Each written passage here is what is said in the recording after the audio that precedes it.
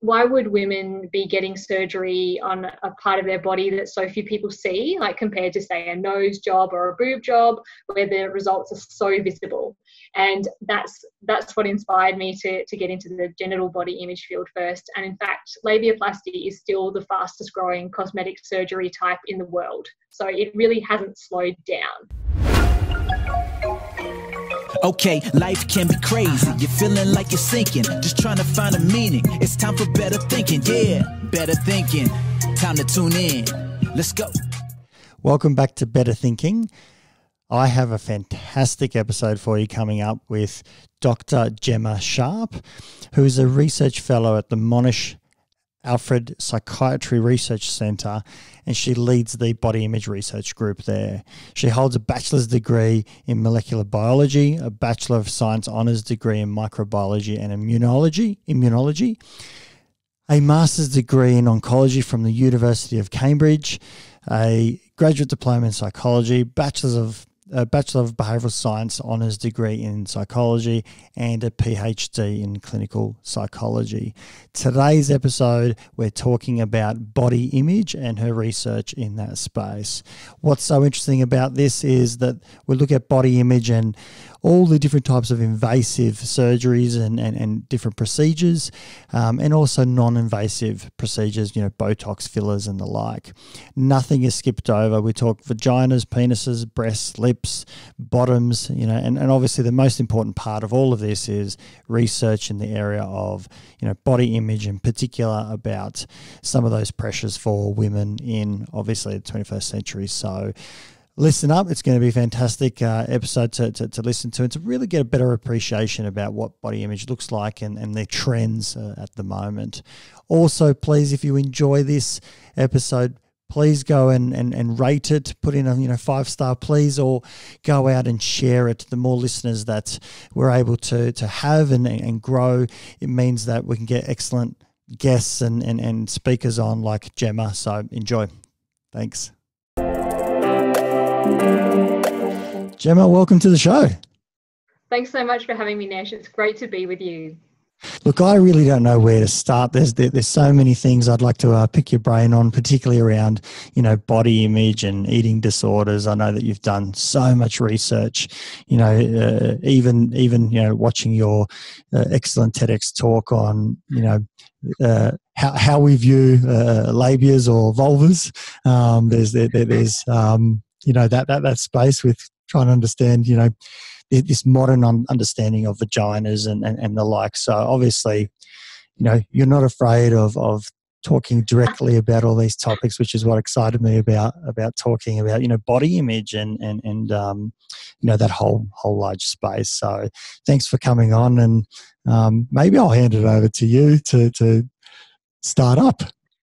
Sure, Nesh. I love how vaginas got into like the first one minute of this podcast. That is so fantastic. I, uh, I'm always thrilled to hear that. And thank you for watching my TEDx talk. Um, yes, it's eight minutes of pure joy, I think, in my unbiased opinion. Um, yeah, so I, like, as you said, body image is such a broad area, and I first started out in quite a niche area of genital body image, which is how um, how that TEDx talk came about. And that's where I've spent, gosh, the last seven years of my uh, research life um, in, in the labiaplasty and genital body image space. I suppose just to define labiaplasty, just in case um, people don't know what that is. Um, it's the surgical reduction of the inner vaginal lips or the labia minora. And um, the aim of that is to produce a, a sort of smooth genital surface. And the reason I even looked at that in the first place was back in 2013 when I started my PhD. Um, it was a really fast growing surgery type, and I thought, why would women be getting surgery on a part of their body that so few people see, like compared to, say, a nose job or a boob job, where the results are so visible? And that's that's what inspired me to, to get into the genital body image field first. And in fact, labiaplasty is still the fastest growing cosmetic surgery type in the world. So it really hasn't slowed down. Um, and it's described as more than a passing trend now. I think people thought it might um, might might pass Um, but no, it's it's continued year on year, and it's right up there with the Brazilian butt lift, um, which is um, basically like getting a, a butt like Kim Kardashian. Um, so I'm proud to say that yeah, labiaplasty is is up there with Brazilian butt lift, and I suppose um, in Australia as well. It is, yeah. Like the thing in Australia, unlike other some other countries, is that we uh, we don't require our private practitioners to report on their their numbers of procedures. Um, but we do know that Australians actually spend more per capita on cosmetic procedures than even people in the states. Whoa, that surprises I know, me. I know. We uh, we love our cosmetic procedures here, which I suppose speaks to a broader body image issue in in in our country and in in other countries. Um, it, it is quite baffling, isn't it? And you reacted exactly as I thought you would there, Nesh. Like everyone goes, "Oh yeah, the states." They're leading the way, but really, we're spending more money on things um, like Botox, injectables, all the way through to the more um, invasive procedures like labiaplasty, boob jobs, Brazilian butt lift, as I was saying before. So we're we're covering the whole gamut, and the only difference is that uh, we just don't know our exact numbers, but they certainly do in the states. That's incredible. And what sort of numbers are we talking about? Well, I mean, gosh, in the States, like several hundred thousand procedures of all types performed each year. And I, I have no reason to think we're not that far behind. Um, and particularly, what's been interesting in the last couple of years is the the, the uh, injectables or the non-invasive procedures becoming really popular. People just popping out in their lunch times to get a bit of Botox, bit of filler, and um, not even. I mean, gosh unfortunately it's quite an unregulated industry. So so the person delivering the procedures might not be medically trained uh, which is a real worry. Um, so we're sort of seeing these things pop up in beauty salons not necessarily clinics anymore. So it's becoming really accessible but also the risks are going up as a result of people who aren't necessarily correctly trained delivering these procedures now, what's going on with all of this? I mean, you know, obviously you're you're you're trained as a psychologist. You've done a you know silly amount of research. Um, you know, you, you, you, you're, you're, you're you know incredibly well published, and they're like, what is going on? What where, where's this come from? You know, yeah, affluence thing. You know, is it we, we've got time, we've got money to burn? What what are we doing? It's so all of the above, Nesh. Like you're right. Like um, cosmetic procedures used to be much more expensive in the past, so we we have more disposable income now, and the cost has come down.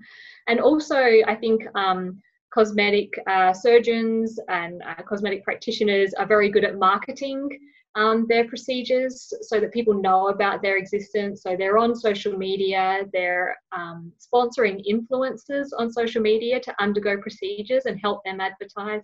So there's that real, I suppose, media avenue, which we know, of course, also helps to um, show what the ideal appearance is for our society, which is, of course, very hard to obtain without um, undergoing these risky procedures, unfortunately. So there's there's that real media influence, having the money, as well as just um, our interactions with our peers and family members too. Um, so if any of the listeners are familiar with that sociocultural model, I'm really tapping into that. Um, so we have a lot of appearance based conversations with our friends and family. We don't even realize we're doing it. Like, you know, if you see someone you haven't seen for a while, you say, You look good. Like you you, you don't even realize you're having these appearance conversations all the time. And it's just, I suppose, um, reinforcing that we value appearance um, in people, uh, and we we talk about it so easily, and we tell people what they should and shouldn't like, but should and shouldn't look like, both implicitly and explicitly. Even that's a really interesting space, and please jump in and correct me where I completely go go wrong here. But I remember back at uni reading about studies that looked at you know male preferences versus female preferences in in sort of uh, heterosexual um, uh, perspectives. Um, yes. You know, looking at men how they perceive women and how women perceive themselves. Yes. My understanding was that uh, uh, women thought that being thinner, uh, sorry, women's perception was being thinner, um, well, what was more attractive than the, the, the men's perspective was a couple of sort of sizes larger than what the women's was. They like the, the, the experiment was kind of like showing all these body sizes that were generally going up and up and up into yes. in size, um, and the ones that the women were choosing, um, and I don't know percentage wise how, how much of the difference was, but the women selected something thinner, a body size thinner than, than, than the men. First of all, my, my first question is, is, is that true? And secondly, is um, any research about like, you know, fillers for lips and those sorts of things? You know, are, are, men going out and saying, "I love big lips"? Like, what, what, what are we doing? Or is this more about how how the trend is of what is attractive? That that that um, that that's kind of being um, uh, there are certain areas that are being enhanced because of this notion of attractiveness is is is moving in all sorts of different spaces. Previously, it might be, um, yeah. you know, particular clothes or something, and now we're moving into body parts. Yeah, that's that's quite a, a triple-barreled question there, Nesh. I'll try and cover it all.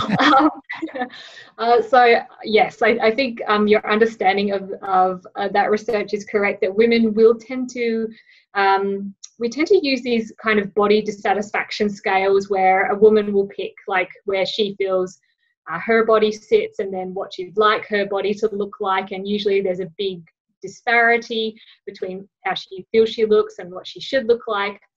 And that's that's what we call body dissatisfaction. And i have um, no doubt that women uh, would express to be much thinner than than their partners male peers would suggest they become. Um, so i agree. It is i suppose it is a bit more about women policing their own bodies and um, we we call that self objectification theory, if anyone wants to um, have a look at that more, or objectification theory. So, um, sort of seeing themselves as an object that must fulfill a certain ideal in order to be perfect and, and be accepted. Um, so that's that. Yeah, it, it's um, very startling and concerning research.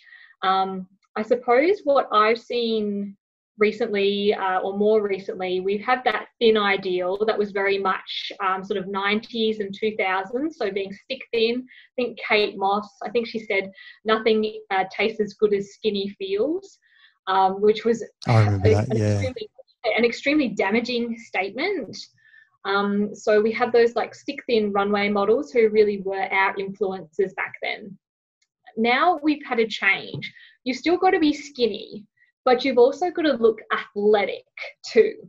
So you've got to have that six pack abs or even more pack. I'm not even sure what we're up to now, eight pack, 10 pack, whatever. Um, so you've got to be sculpted. You've got to be lean. You've got to be tanned, but you still got to have the boobs and the booty. And I think that's oh, wow. how impossible is that? Like you're meant to be sculpted but still have bigger boobs and a booty. So that's of course where the cosmetic industry can come in and go, hey, we can help you get that kind of physique. And this is really I suppose the Kardashians epitomize this um, this sort of tiny waist but still womanly looking. And I just think, my gosh, these ideals are just getting harder and harder to, to fulfill in, in um, sort of ways that are not dangerous. It's, uh, it's, it, it, it's interesting trying to understand how the trend moves that, that. It, it so is Nesh, and I like you talked about lip fillers there as well. Please um, forgive me if I've forgotten any of your points. Just bring me straight back. Um, again, so uh, voluptuous lips is something that's been newer as well. Um, so, uh, like um, again, to use another Kardashian family member. Um, Kylie Jenner is really the queen of lips. Everyone wants to have Kylie Jenner's lips. Um, and again, I'm not exactly sure how that came about. Um, I suppose potentially with um, taking selfies for social media, that kind of trout pout. Um, if people are watching this, they'll see me trying to do a trout pout. Um, and I think if you've got the bigger well, then you've got a you've got a terrific trout pout going on. Um, but I mean, if we think about through history, Nesh, like these these trends change so often. Like we had Marilyn Monroe in the 50s of a more voluptuous figure and then we go stick thin and now we're going back to something in between voluptuous and skinny it just it just hmm. changes all the time and um, i mean i think something that i've found quite amusing but also sad is that um, thin eyebrows used to be quite popular in the 2000s. So we have a lot of women who plucked their eyebrows to be very, very thin, and now they're requiring eyebrow transplants to have the more bushy eyebrows that are popular in the 2020s. So it's like you're always yeah. having to change to to comply to the ideal. I mean, in some sense, the what what I'm hearing is that these are trends. Like the the the, the big booty is a trend. Um, and my apologies for listeners. I, I, think I called them fat lips rather than voluptuous lips. I think I need to uh, improve my improve my. That um, could be like someone's punched you in the lip, right? But it looks like that anyway. Um, yeah, just. But these are trends like, that that will yeah. These are trends that will last a period of time, though. This isn't like a 12 month trend. We're, we're, we're, talking about this could be years, potentially even a decade, um, maybe even yeah. more. Um, but sure, we, we know sure. it's going to shift and move. But, but yes. in some sense, it, it, it, it's also got a decent season, you know, like uh, boob, boob jobs at the moment, if we call them those. Um, you know, they, they've had a decent season to date, you know, and and it's a you know. very good point there, Nesh. You're right. Like boobs have never really gone out of fashion. Boobs have always been something that's been a marker of femininity and, and beauty, it would seem. Um, and of course, uh, cosmetic practitioners have been uh, honing their skills to make the results look, I suppose, more natural. Like that's what I'm hearing a lot of from the cosmetic practitioners. Like the boob jobs in the past, they look like sort of rocks out the front um, and now they're now they're trying to make the the enhancement look more more natural um, and normal. So I I think I think the procedure remains the same, but the the technique shifts. It's interesting, even though the, the, the language, you know, it's, uh, and this is what's so fraught because, you know, you don't want to insult anyone, someone who has gone out and, and had breast augmentation, you know, and the mm. like versus someone who hasn't it, it's kind of hard to talk about it where we, you know we, if we go and say it's an enhancement versus to say well um, no it's a different look um, you know because it, it, it, it starts to go yeah, out and you know question. It, it's no different to i think in, in, in your tedx talk also talking about you know designer vagina you know uh, there's all these different terms that we use um, that, uh, as you say, just happens in language. It's kind of like, oh, you look good, or oh, I love your eyebrows, or something. And it's it's effectively reinforcing. We all know in psychology that reinforcement scheduling is, is, is super important to get that from your loved ones. Is is the best. You're, you're absolutely right, Nesh. The language that is used in the cosmetic industry is so important for advertising. Like, as you said, there's designer vagina. It's also vaginal rejuvenation. So, like, meaning, oh, your old dusty vagina needs to be spiced up. Heaven forbid. Rejuvenation. Um, wow. Yeah, so rejuvenation is used a lot. I mean, we also hear about mummy makeover. Like, you know, your body has gone to wreck and ruin because you've had a kid, so you need a mummy makeover. Um, whereas I, um, I'm very keen to actually call these procedures exactly what they are, like breast augmentation, um, labiaplasty, because I think if we start calling them these kind of cute names, it really underplays how significant these procedures are mm, and the mm. risks that are involved. And I suppose something that I do in my clinical practice as well as my research, like I'm I'm not opposed to people getting cosmetic procedures, but I am opposed to people who aren't good candidates or aren't psychologically suitable to getting them um, going forth with them. So I think um, I'm always keen to work with cosmetic practitioners to help them um, evaluate their their patients for suitability. And I was actually very fortunate to work with the Australian Psychological Society in 2018 to help them with their psychological assessment guidelines for people seeking cosmetic procedures. So so do look them up folks if that's something you're interested in uh, because we give a lot of good information as to how how you might assess someone. But I think um, from what I've heard from other psychologists in the area they're not necessarily getting the referrals from the cosmetic practitioners. So, so I think we probably need to do more about sort of building bridges between yeah. psychologists and cosmetic practitioners yeah. to make sure that, that that these assessments are actually getting done. Like even it's not going to happen. It's not going to happen a it, opposes. this commercially it, it opposes. I, I, I still have a dream. Yeah. I have a dream.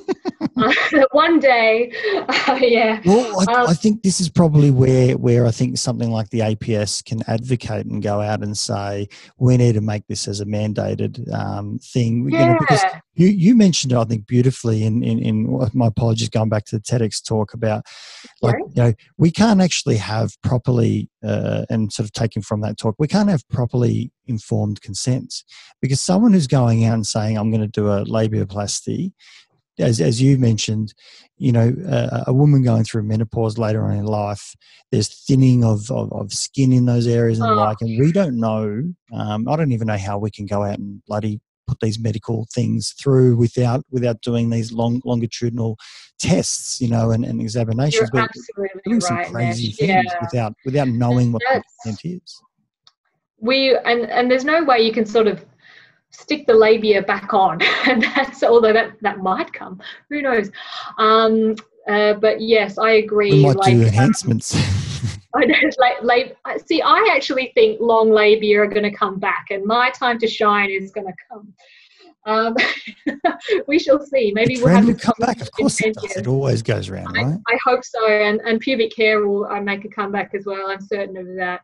Um, yay for pubic hair. Uh, so you're absolutely right, Nesh. Like, yeah, it's um, we don't have the long-term data. I think for other procedures, for example, breast augmentation and things like that, that data is accumulating. Um, but for labiaplasty and the vaginal rejuvenation world, it's still more recent. So you're right, we don't have that long term data, and menopause does change things down there. Um, and also, I think what I have seen is that uh, these women are less likely to choose to undergo a vaginal childbirth because they don't want to, I suppose, muck up their procedure results. So they're more likely to undergo cesarean sections when they do have kids, or if they choose to have kids, I should say.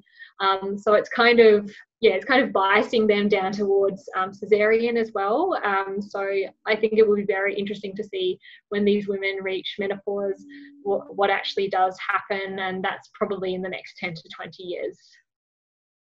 It's interesting. There's another whole place of when we think about body image, you know, how we're mm. choosing to give birth uh, is, is, is changing as well, and not necessarily purely on medical grounds all the time. Uh, obviously, very important. Um, you know, cesareans are often, uh, uh, uh you know, uh, performed for for very real, you know, risk reduction reasons and the like. And then there's also um, many that aren't. You know that, uh, and certainly not not being judgmental about people choosing, but the the, the choice yeah, start to shift. Yeah, I agree. Like it is quite an interesting motivation, isn't it? Like I don't want to undo the work that I've done um, cosmetically speaking, uh, but I still want to bring my child into the world. And I think, I suppose, as long as um, I suppose we get back to that informed consent, don't we, Nesh? Like, sort of, you know, you're having this procedure. If you choose to have children, these are the things you need to think about before you undergo this procedure. Like, say, if you always wanted to have a natural childbirth, but you still I should say vaginal childbirth, um, but you want to have a labiaplasty as well, you might want to think about that. So I think these are things that really need to be discussed more at the outset. Is this part of the great challenge that we have? Is that sometimes we want both, and they're competing demands. They they they they're, they're opposing each other.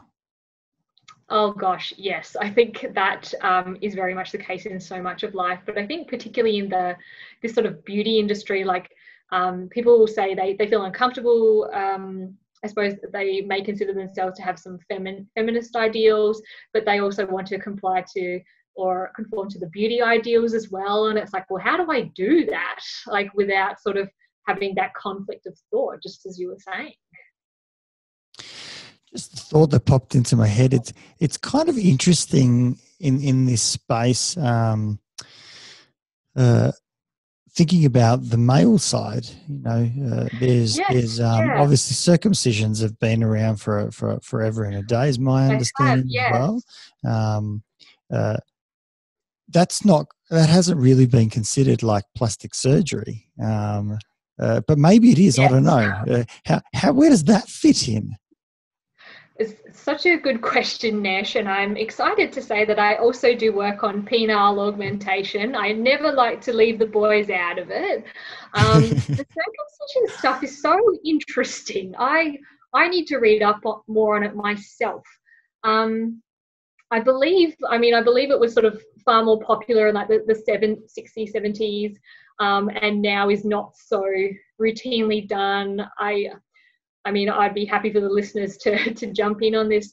Um, like, sort of, the, there was a lot of thoughts around it being more hygienic um, and, and things like that. And so there were sort of multiple reasons as well as cultural reasons too um, impacting it. Um, I know, I think um, for some of the penile augmentation research I've done, and that's to do with girth augmentation, so a bit different.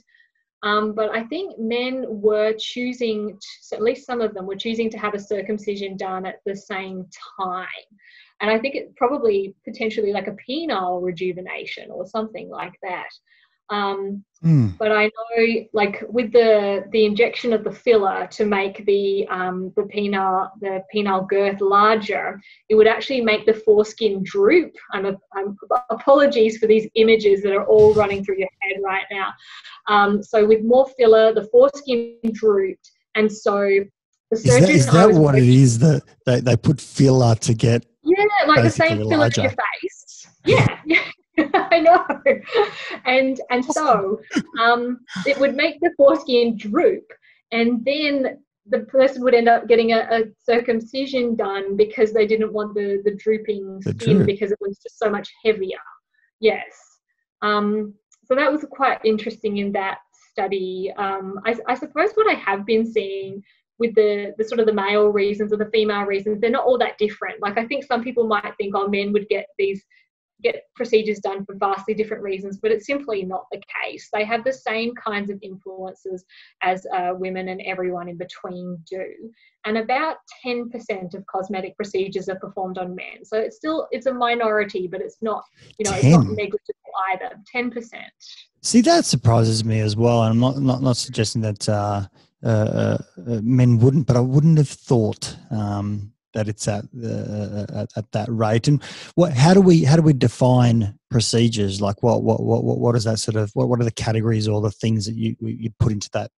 Um, yeah, bucket? absolutely. So, um, uh, like I, I use procedure in a really broad sense. So it can be the non-invasive stuff of fillers, Botox, all the way through to um, uh, with men. They'll often um, you've heard of man boobs, Nesh, or moobs. Um, so they will they will get like a sort of a, a chest resculpting.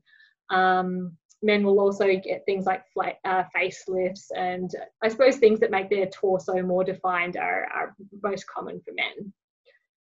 Yeah, wow. And do we know numbers of men men um, using fillers and those sorts of things? That's it's a great question, Nesh. I think I would have to look that up. My apologies, um, but if the listeners are keen, there's a fantastic website, um, the aesthetic surgery of a I think it's ASAPS is the ASAPS is the acronym and it's all the American stats. They do a great job of keeping the stats and they do break it down by gender and what's popular with men, what's popular with women, invasive and non-invasive procedures. So it breaks it down really nicely. Now And I have to ask. 2019 results. So yay, 2019, hopefully coming soon. Absolutely, absolutely. I, I have to ask about uh, you know re- research that's looked into, and I, I believe you've done so as well, um, about people's satisfaction post. Uh, procedure. Yeah. Um, can you talk Yes. about about that? You know, we the idea obviously is I'm not happy with you know my you know eyebrows. I go out, I get my eyebrows done, um, and then I, I I go out and uh, complete some sort of questionnaire or, or some sort of study looks at how pleased I am with my eyebrows. What's it like with you know all these procedures, whether it's you know injectables or you know whether it's um, you know more invasive type type of uh, procedures? Yeah, such a good question, Nesh, and it's such a, a, nuanced answer as well. We tend to find that with the, the non-invasive procedures, so the injectables, fillers, Botox, the satisfaction rates are, tend to be a little bit lower simply because the effects don't last. So people always want something that will be a permanent solution, um, but the fact that they have to go back in every sort of six to 18 months to, to get it redone tends to to lower their satisfaction a bit. Um, it's not yeah it's not that they're dissatisfied but it's just that a permanent solution would be better in terms of the invasive procedures again people tend to be relatively satisfied unless they've experienced complications uh, which can and do occur um, some procedures more than others um, and that tends to really lower satisfaction quite a bit i found from my own research that it's generally the biggest issue is people going in with unrealistic expectations. So, thinking that having a procedure will get them a new job, get them a new partner, revolutionize their life. That's where people are dissatisfied because they, they've just gone in completely unrealistically. And, and I think um, I'm always encouraging cosmetic practitioners to have that discussion about expectations and, and to check that they are realistic. I wonder if there's any connection, and, and maybe just want to sort of uh, toss the ball around a little bit with the less invasive injectable type. You know, they're yes. they're, they're, obviously a lot more. They're, they're a lot cheaper. Um, yes. There's a lower satisfaction generally. Um, yes. Versus invasive, which often means um, you can't re- return um, the yeah you the, might the, have to have a week procedure. several weeks off work yeah, yeah. They're, they're, so they're kind of like more permanent and and they're certainly more expensive I wonder yes. whether our investment changes it. Whether if uh, uh, if someone yes. had to pay, you know, eight hundred dollars for a um, you know lunchtime Botox session, um, that all of a sudden we might find someone saying, "Oh, I'm really happy with it," because you kind of have to run a narrative or some sort of story to say, "I'm happy because I spent good money on it." You've hit the nail on the head, Nesh, and I write this in every single paper I, I publish. Um, there's that real cognitive dissonance of like, you know, I've I've been through this pain, I've paid this money, I've had to take time off work, it's been uncomfortable, I have to like the outcome.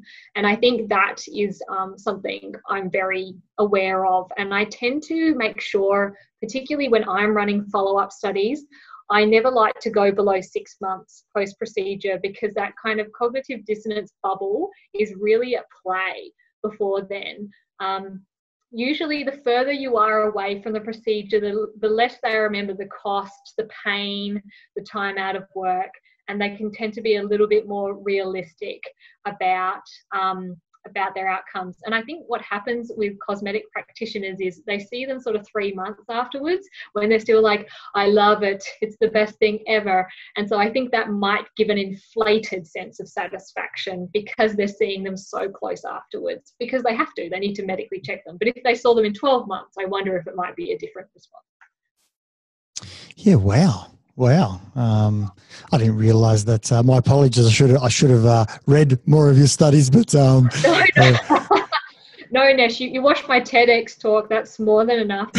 um, but it's um, it's it is a big deal in the I suppose cosmetic outcome research field that we just go if you're below six months, how how much can we really take from these results? Um, and also the like I suppose the procedure might be still settling down. It might still be swollen and things like that. So I think they might not even have their final aesthetic outcome even. So mm. how can they really judge satisfaction so quickly? Yeah, because we, especially an investment that's going to be for an extended period of time, you you kind of have to learn to love it as well. You know, if, if, if you've spent a lot of money on a vehicle or something, you kind of have to go out six months later. Say, yeah, I love it. I still love it. You know, even yeah, if it exactly. might have been, you know, it's a little bit smaller than you actually anticipated it would be in terms yeah. of you know having a whole family in there. You kind of you know spruik it up. You say it's really good. You know, drives well. yeah, you get your fluffy dice you love it. Um, and that's like it's a really good point you touched on there, Nesh. Like I suppose if people don't love it and then they're like, I need another surgery to fix what was done, and then we start getting into this really slippery slope of cosmetic surgery addiction, uh, cosmetics being called a cosmetic surgery junkie, um, people who just like they see they fix one thing or and the focus shifts to another area that they think is problematic or it stays on the same area and we're really getting into that i suppose body dysmorphic dysarea zone um, which we know is um, is a, a cosmetic procedures should not be performed on people with body dysmorphic disorder. It's a real red flag because we know that they tend to not improve or get worse um, and can also they're more likely to sue their practitioners and also unfortunately um, um, uh, potentially harm themselves or the practitioner. And there's certainly been cases of cosmetic surgeons unfortunately being murdered uh, in the states because someone has been so unhappy with their outcomes and it's later been revealed that they had body dysmorphic disorder before they had the procedure done. So that is something we're always very mindful of. I think it's the biggest red flag that that we all look out for. And and the cosmetic practitioners themselves know about it too. So i think it is it is fairly well known. But i think in terms of actually looking for it and knowing what to, knowing what to knowing what to look for is not well done. Um, and i think that's all that's why we need psychologists. Mm. that's why we need um, good uh, really good rating scales clinical interviews to make sure we pick up on the people who shouldn't be having these procedures done. And maybe that's the area where psychologists could could really uh, assist with, um, uh, you know, the the medical practitioners that are looking to perform these, where where they realise that this is about minimising risk. Because what you're talking about is really an obsessive and severe dissatisfaction meaning that exactly. you know if you're dissatisfied with your with your nose you get a, a, nose job or rhinoplasty and then all of a sudden you're still dissatisfied you know the, the lump yeah. there is a little bit higher than i expected so you go back and do another one and you can probably yes. never get it right because it's, it's kind of like obsessive compulsive disorder you can never actually meet that feeling that that that that that, that uh, you know emotional rest that you're looking for you're trying to remove the tension by getting surgery exactly Nesh, and that's that's always the issue with body dysmorphic disorder that people will seek out a physical solution in the form of surgery rather than a psychological solution because they truly believe that there is a problem with their nose, for example. So, why would they go see a psychologist about their nose? They'll go see a surgeon because the surgeon can fix the nose. And so that's where as you were saying, the surgeon and psychologist really need to work together because this person may sue the surgeon, they may harm themselves or the surgeon. And so, I, as you were saying, um, when I'm talking to cosmetic practitioners, I, am like, do you want to be sued? Do you want to be killed? Um, then listen to this. And they tend to they tend to listen to that kind of narrative. It's also really interesting that there are certain things that we're kind of more okay with than than, than others. Like we yes. might go out and you know, I think a lot of people these days um, and I, my apologies because I won't get the term right here as well. Um, they will. I was going to say bleach, but uh, now that I've said it, it's there. But uh, whiten their teeth. Um, yes, uh, that, that's a common one. It, you can probably um, see it on my teeth. everything's whitened on a on a uh, on a screen, but uh, you know that that's a common one, and and I don't yes. think people kind of balk at that. You know, we, we, we don't go, oh my goodness. You know, maybe if someone's teeth are just like super bright white, you know, but yeah. once again, even that's a trend. Like the, do you go um, super bright or do you go mild white? You know, it's it's fascinating. Totally. We call it like the Shane Warne toilet bowl effect. Um, like where you're just, just so white. It's and like I I agree. Like, you know, if we never we never sort of um, look twice at a child who's having braces and like clearly oh. that's has a lot of cosmetic influence doesn't it? That they want straight teeth and we don't we don't tend to judge them. So you're right we there is a sliding scale. There's like you know um, teeth work. Breast augmentation has become more acceptable as we've gone on. We do have like labiaplasty at the extreme end where we're like no no you can't do that so I agree. We we have become more comfortable with things over time. Just going back to the teeth example, I think um, I know certainly I think practitioners could become concerned if someone is coming back so often to get it done, um, because it is it is actually damaging to the teeth. Um, so I think there there's definitely a discussion to be had of you know you want really really white teeth, but you're actually going to damage them in the process by having them that white. And and certainly we do see body dysmorphic disorder focused on teeth and, and skin all the time. Can I ask a personal question? Sure. How, how do you, obviously, as a psychologist and a researcher, uh, uh, how do you, let, let, us say, with the, you know, and, you know, air quotes, minor procedure um, of uh, teeth whitening, um, how do you reconcile that? You know, how do you go out and, and, and, and how does it fit in your head? Just, just interesting to, to, to appreciate and understand. Yeah, like for myself or for yeah, other people? For yourself. For yourself. yes, I, people think what a hypocrite. Um, I yeah, gosh, I think we all do um, things, right? I mean, yeah, we we do course, our hair. Everyone says yeah, it's okay to do your hair. You go out and you you know give it give it a different color, and I'll shave my head.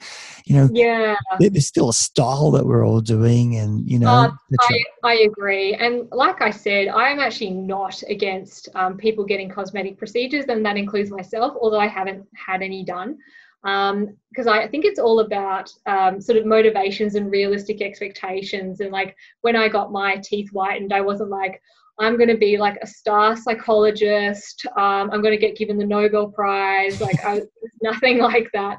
Um, it was actually just that I was doing a lot of media work and having to watch myself back, um, which was great fun. Um, so I was like, oh, well, you know what? My dentist mentioned it to me I'll give it a go. And like I I get touch ups irregular irregularly. I can't even say the word. Um, and so yeah, uh, I, I yeah, it's not not in a problematic area. And like I said, I'm not not against people getting stuff done, changing their hair, all that kind of stuff. It's all just around the the motivations. That's what's fascinating about all of this is how do we sit with it, you know, this grey space, you know, about what are my motivations, you know, what, what are people's motivations? You know, is this whole space, you know, this is body image that we're talking about, you know, yes. is it that most people are dissatisfied? You know, I mean, what, what, what number of the population, you know, goes out and completes these these self reports and says, you know what, I'm kind of happy with my you know little tummy that's starting to stick out, and you know I'm not too too fussed about my arms. You know, I, I like my arms. You know, they you know help me do do life, etc., etc. And yeah, we what, what's the sort of percentage of sort of dissatisfaction and and you know maybe even you know is it mild is it severe how, how do we how do we gauge all of that do you have an idea population wise that's, I think, from the work I've been doing most recently, Nesh, which has been with young people, because that's when the, the body image concern starts. I'll speak, I'll speak to them first. And our latest Mission Australia com- uh, survey coming out of Australia um, showed that uh, over 30% of young people were either very or extremely concerned about their body image. So that's real high end stuff, and more than 30% that's that's a problem really isn't it? And, it, and it's typically year on year ranked as one of their um, highest concerns in life. So up there with like study mental health their future body image is up there. So it's not something down on the list. And although i think we need to do more research across the lifespan we know that people don't necessarily grow out of these concerns. Like people think oh I'll grow into my body. That's I know that from my clients. They just go, I thought I would, but I haven't. Um, potentially it slips down the list maybe of highest ranked concerns as we get older, but it's still there. And I like I certainly think we should be doing more to help people with body image concerns across the lifespan and not just that sort of teenage 20s area because that's simply that's they're not the only people it's men women young old and everything in between yeah, well, and, and, and clearly we know this is the case because it, you know, we, we see the surgeries occurring when people start having money and they go, I, I can go out and start spending it on myself. But yeah. They've been concerned for like 10, 20 years prior to that. It's only when they have the finances and the means uh, to actually do these procedures they do. And I see this all the time. And it's just, like I don't want people to be dissatisfied with themselves for decades and then have to wait for a surgical solution which may not even make them happier like i i think that's awful and i mm. i suppose my research is all about intervening earlier and what we can do to help people without having to have surgery although that is an option it's not the only option it's also interesting because if one of my daughters and they're very, very little, so we're not we're not there yet, there yet. But in my mind, I'm like, yep, we're going to go do do the braces option. Uh, you know, um, yes. we'll start putting some money away, etc., etc. and this is what we're doing.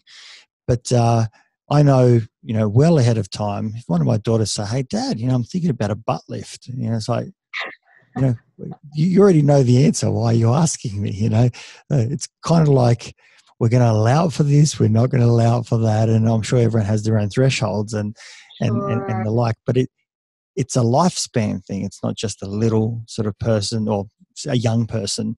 Um, so they're not little because they don't think about it that way. Um, uh, but they have a young a young person. Um, although in actual fact, uh, my my daughter recently we got got some uh, dental work done, and and um, uh, she had a cap uh, put on her tooth, and you know we're very sort of conscious of saying it's a sparkly tooth, you know, because uh, it's a, of a of a um, metallic color. Um, yeah. And you know, and she she's asking great questions like, Dad, does the uh, tooth fairy give you more money for a sparkly tooth? I love it. She's an entrepreneur. but she's a little bit, research. I, I, think there might even be a little bit of self consciousness there, a little bit, and she's six. Um, so obviously, okay, at, at, that age, you know, she might, and I don't know whether that's the case or not, but it, it seems yeah. to me like she's a little bit cognizant of, you know, I'm I'm, I'm different. My my my tooth. I, I used to have a white yeah. one, and now it's different.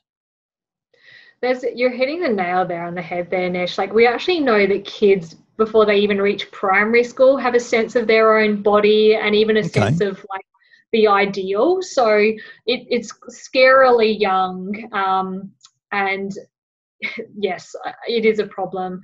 Like you can interview three year olds four year olds about um, the word fat, and they'll know that being fat is not ideal and it's a, a, bad thing to be, and it ostracizes you from your group. So I, I know it starts really, really young. And the fact that she is noticing that she, um, she has uh, some different teeth from uh, her peers is is very normal and i think um, i tend to sort of talk about uh, what your body does for you rather than what it looks like. So I wonder yeah, if nice. her sparkly sparkly tooth might actually help her eat food more easily or like it might even be like a superpower tooth um, so i feel like there are things we can do around this that we i suppose yeah i'm all about what your body does for you and we don't even say thank you rather than what it looks like. Sure. Now, obviously, you know, uh, if, if children are talking about this, you know, even from the age of three, um, I think it's fairly clear to go out and, and, and confidently um, to, to, to say this stuff starts at home, right? Absolutely. Majority. Yeah, it's about about role modeling um, the kind of conversations we have. Uh, like you know, if you're on a diet, maybe don't be discussing that with your with your young kids. Um, or even in them them being in the room while you're talking about it. Absolutely. Absolutely. You're so right nesh like uh, yeah these are not conversations that young people uh, should be hearing about. The appearance talk and i suppose it is a natural part of life but it's also about talking about all of our positive attributes.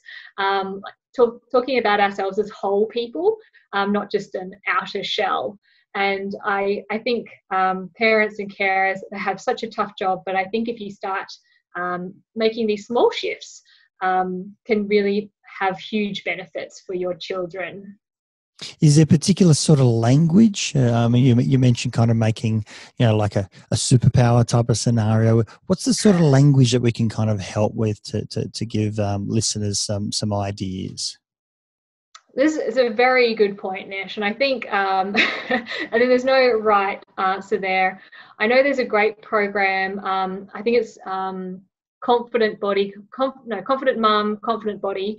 Uh, it's by uh, um, Zali Yager. She's done a great job there. Big shout out to Zali, uh, which I think gives some really good tips about how parents can do good role modeling.